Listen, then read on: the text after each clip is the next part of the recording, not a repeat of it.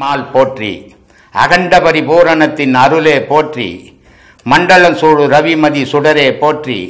மதுர தமிழ் அகத்தியனே போற்றி போற்றி. என் திசைக்கும் புகழ் புகழ்மென்றன் குருவே போற்றி. இடைகளை சுழ்முனையின் கமலம் போற்றி. குண்டலிக்குள் அமர்ந்து நின்ற குகனே போற்றி. குருமுனியின் தாளினை என்றும் போற்றுவோம் போற்றி போற்றி. கடவுள் எப்படிப்பட்டது? எது கடவுள்? பெருமாளை கும்பிடுறோம் பெருமாள் கடவுள். சிவத்தை கும்பிட்றோம் சிவன் கடவுள். பிள்ளையாரை கும்பிட்றோம் பிள்ளையாரே கடவுள். முருகனை கும்பிட்றோம் முருகனே கடவுள்.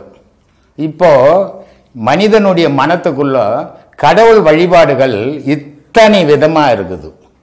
ஆனால் இதில் எது கடவுள் அப்படின்னு எண்ணி பார்த்தீங்கன்னா உங்களுக்கு விளங்கும். இது நிறைய என்ன கேள்விகள் இந்த மாதிரி டிவியில் கேள்விகள் கேட்குறாங்க ஃபோனில் சாமி இத்தனை கடவுள்கள் இருக்குது. இது எது கடவுள்?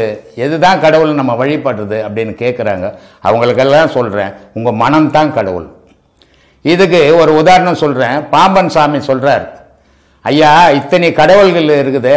எது கடவுள் சாமி? அப்படின்னா அவன் அவன் மனம் எதுவாக நினைக்குதோ அது அதுவாக ஆகுது. அதுவே கடவுள்றான்றான். அதை எப்படி சொல்கிறான் அண்டமாய் அவினியாகி அரியன பொருளுமாகி. தொண்டர்கள் குருவுமாகி துகிலாறு தெய்வமாகி என் திசை போற்றி நின்ற என் அருள் ஈசனான திந்திரல் சரவணத்தான் என் தினமும் சிரசை காக்க அப்படின்றார் ஈசன் என்றால் அதுதான் சக்தி என்றால் அதுதான் விஷ்ணு என்றால் அதுதான் முருகன் என்றால் அதுதான். நீ எதுவா நினைக்கிறியோ அது அதுவா வந்து நிற்கிது நேற்று கூட இவர் லாரன்ஸ் கேட்டார். நான் சொன்னேன் இந்த சூரியன் மாதிரி ஆயிரம் சூரியன் சேர்ந்தது தான் கடவுளுப்பா. புறக்கண் பார்க்க முடியாது அகக்கண்ணால தான் பார்க்க முடியும் அப்படின்னு சொன்னேன். அப்போ கடவுளுக்கு உருவம் இல்லையான்னு லாரன்ஸ் கேட்டார். நான் சொன்னேன் உருவம் உண்டு. உன் மனம் எந்த உருவமாக நினைக்குதோ அது அந்த உருவமாக மாறுபடும். ஆனால் அதுக்குன்னு சுய உருவம் கிடையாது. உன் மனம் குழந்தையா நினச்சின்னா கடவுள் குழந்தையா நிற்பார். இடைப்பருவமா நீ நினச்சினா இடைப்பருவமா நிற்பார். முதுமையா நினச்சின்னா முதுமையா நிற்பார். உன் மனம் எதை விரும்புதோ அதுக்கேற்ற மாதிரி கடவுளுடைய தோற்றம். அப்போ கடவுள் இயற்கையில என்னன்னா பேரொளி அது அண்டம் புள்ள அடங்கி இருக்குது. அதை தான் அகஸ்தின் பாடல்ல சொல்றாரு. அதுக்கு ஆதரவு கொடுங்க. நன்றி வணக்கம். இப்போ வந்து மனுஷனுக்கான அந்த உணர்வும் மிருகத்துக்கான உணர்வும் இப்போ நீங்கள் சொன்னதில் நான் நல்லா புரிஞ்சுக்கிறேன். கடவுளுக்கான உணர்வு தான் என்னால் இப்போ புரிஞ்சுக்கிறேன் கடவுளே நீங்க தானுங்க? கடவுள் வெளியவே கிடையாதுங்க. இல்லை நான் இப்போ நீங்க ஒரு ஆள் இல்லைன்னா இப்போ நான் வந்து புலிக்கான உணவு இன்னொரு உயிரை நான் படிக்கலையே. அடப்பா, உணவு போட்டுங்க. உணவு பழக்கமே வேணாங்க. ம். கடவுள்னு சொல்றது இப்போ எங்கேயாவது கடவுள் போய் எனக்குன்னு ஒரு கோயில் கட்டிக்கிறேன்பா நான் கட்டிக்குதா? கட்டிக்குதா? எங்கேயாவது உலக உற்பத்திக்காக கடவுள் எதனா செய்திருக்குதா? ஒன்றும் செய்தது கிடையாது. கடவுள் மனிதனுக்குள்ள இருந்து அதுக்கு தேவையானதையும் செய்துக்குது உலகத்துக்கு தேவையானதையும் செய்யுது அப்போ கடவுள்னு சொல்ற பொருள் எதுன்னா கடவுளே தான் சொல்லிங்குது நீங்க தாங்க கடவுள். உங்களை விட ஒரு கடவுள் உலகத்தில் இல்லைங்க. மனிதனை விட ஒரு கடவுள் உலகத்தில் இல்லை. மனிதன் ஒருத்தன் இல்லைன்னா கடவுள்னு ஒன்று இல்லைங்க. அங்கே அன்பும் இல்லை பாசம் இல்லை ஒன்றும் இல்லை. எல்லாம் இந்த மனிதனுக்குள்ள அடக்கும். இப்போ வந்து அவ்வளோ பெரிய ஒரு டிவோட்டியாகவும் அவ்வளோ பெரிய ஒரு ஒரு உலகம் பூரா ஒரு ஒரு இந்து மத கொள்கையை பரப்பின ஒரு விவேகானந்தர் எடுத்துக்கிட்டோம்னா அவர் வந்து நூறு இளைஞர்கள் வந்து கொடுத்தா இந்த சமூகத்தை மாற்றி காட்டுன்னு சொன்னார். ஆனால் வந்து அவர் அவராகவே ஒரு டேட்டை ஃபிக்ஸ் பண்ணி இறந்து போயிடுறாரு. சரி. அப்போ அவரால் நூறு பேரை திரட்ட முடியல. அவருக்கு நூறு பேர் கிடைக்கலையா. இல்லை அவரால் திரட்ட முடியலையா? இல்ல. அது என்ன? இப்போ விதின்னு சொன்னீங்களே அது அங்க வந்து நின்று வச்சு பாருங்க. திடகாத்தமான மனுஷன் வல்லல வல்லு வேறு விவேகானந்தர் அப்போ அந்த விதி தான் அங்கே பவரா நல்ல இல்ல இல்ல சொல்றேன். இதை அப்படி எடுத்துக்க கூடாதுன்றேன். இல்லை இல்லை விவே- விவேகானந்தர் மாதிரி அவர் வந்து முப்பத்தி மூணு முப்பத்தொன்பது வயசு குறைஞ்சது ஒரு எண்பது வயசு வரைக்கும் இருந்திருந்தாருன்னா அவர் நூறு இளைஞர்களை கொடுங்க நான் இந்த உலகத்தை இந்தியாவை மாற்றி காட்டுறேன்னு சொன்னது நடந்திருக்கும்.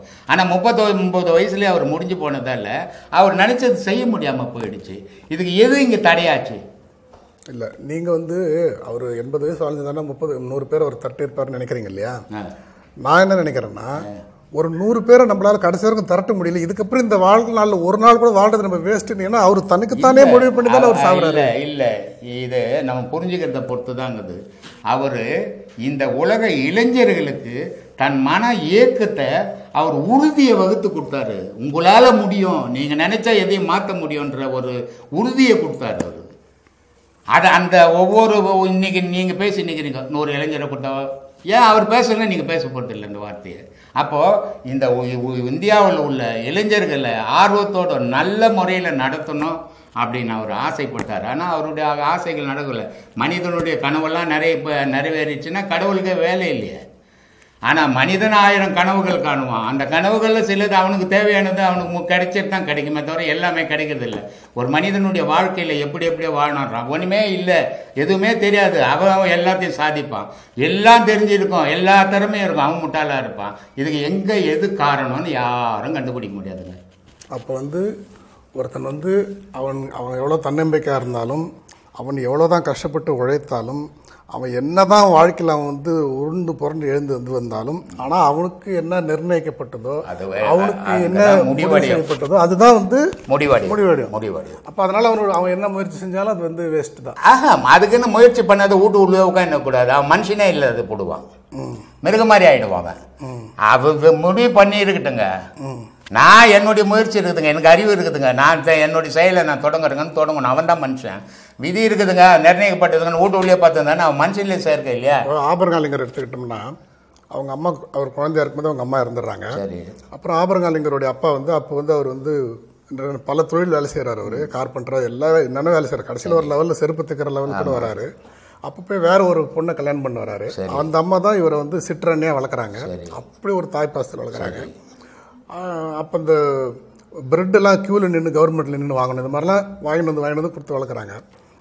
நீங்கள் சொல்கிற மாதிரி இந்த ஒரு விஷயத்தை வந்து இதுதான் இது இப்படி நிர்ணயிக்கப்பட்டது தான் அப்படின்னும் போது நாம் ஒரு செருப்பு தைக்கிறவருடைய மகனாக பிறந்துட்டோம் ஒரு தாய் இழந்துட்டோம்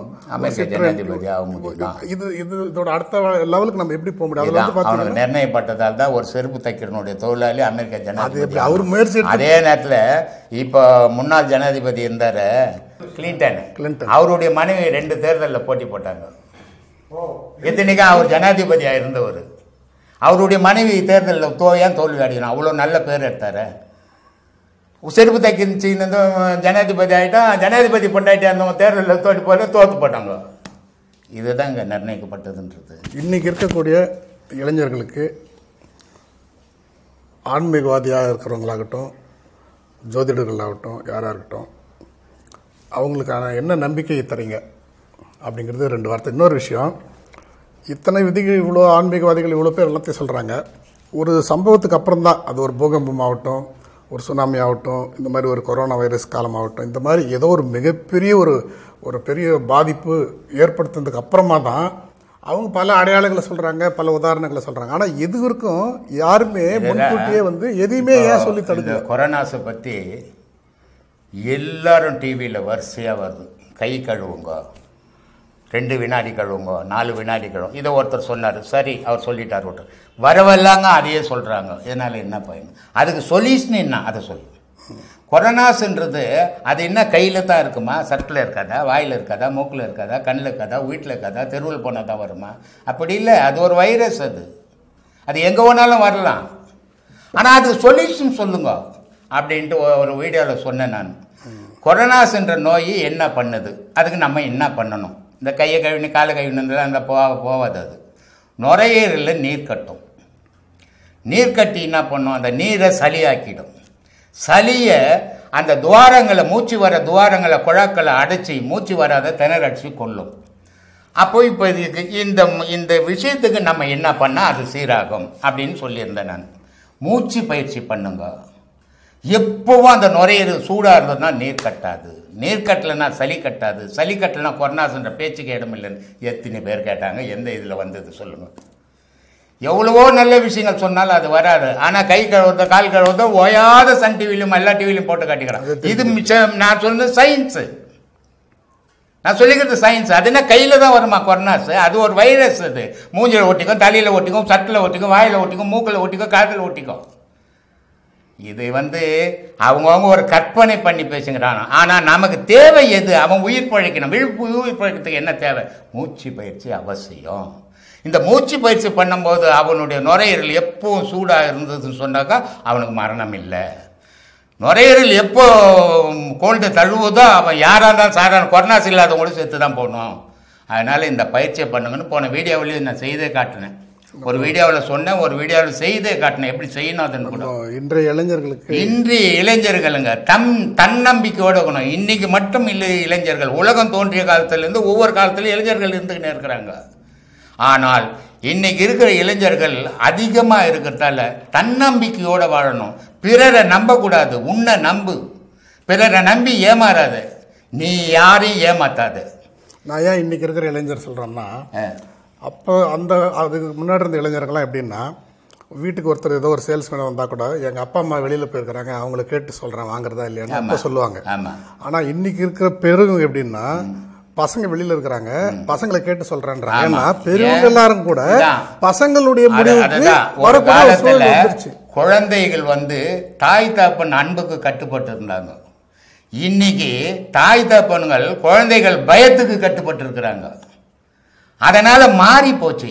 அதனால் இளைஞராக இருக்கட்டும் முதியோராக இருக்கட்டும் முதியோர் தாய் தகப்பனுங்களுக்கு சொல்கிறேன் எந்த பிள்ளைங்களையும் நம்பாதீங்க. உங்களுடைய கடமைகளை செய்யுங்க. அவங்கள படிக்க வைக்கணும். அவங்களுக்கு துணிமணி கொடுக்கணும். அவங்கள வாழ வைக்கணும். அது உங்க நீங்கள் பெற்றதனுடைய கடமை. ஆனால் அவன் காப்பாற்றுவான்னு நம்பி ஏமாந்து வருத்த துக்கத்தில் விழாதீங்க.